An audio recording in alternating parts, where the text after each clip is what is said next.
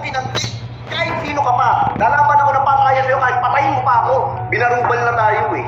Tinarantado na tayo eh. Kinuha na yung bahay natin eh. Sa parinig nyo, kung ano yung nawala sa atin. Kasi kung lahat tayo mananahimik, aabusuhin tayo niyan para tayong batang kinutongan.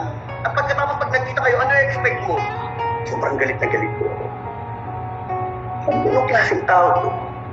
Sa gitna ng pandemya, sa gitna ng nangyayari sa ating bansa, nauna nyo pang isipin, ipasara ang ABS-CBN bago kaysa tugunan ang lahat ng pangangailangan ng ating bansa.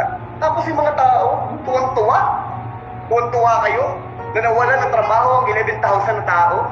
O ngayon, kaming 11,000 na tao, anong mangyayari sa amin ngayon?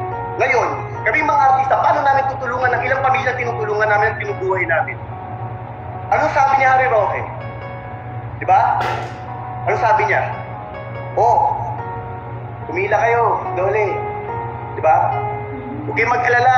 Bibigyan namin kayo ng ayuda. Eh kung ang, ang buong Pilipinas kayo, hindi nyo masuplayan eh. Pati kami makikidagdag. Kami pong mga artista, ang ABS-CBN, kami po ang mga mga pinakamalaking nagbabayad ng buwis sa ating bansa. Kami po, may binabayaran po kaming tax taon-taon. Meron po kami binabayaran back every month. Napakalaki ng naitutulong namin. Bukod sa binabayad namin tax. May serbisyo kaming ibinibigay sa mga tao. Pupunta kami sa ibang bansa para kamustahin ang lahat ng mga OFWs.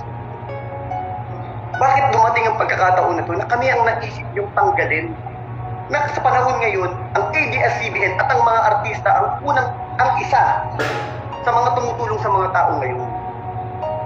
Ano pong malaking problema dun?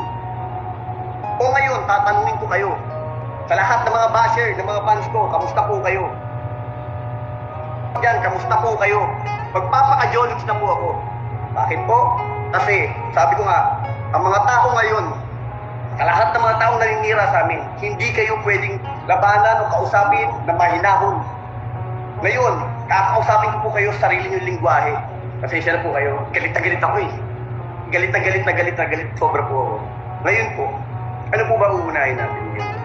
Tanggalin ang kumpanya na tumutulong sa ating kapwa, sa lahat ng mga Pilipino, o yung sugal na pinapasok sa ating bansa. Buti pa yung pogo. Di ba? Pinaglalaban nyo.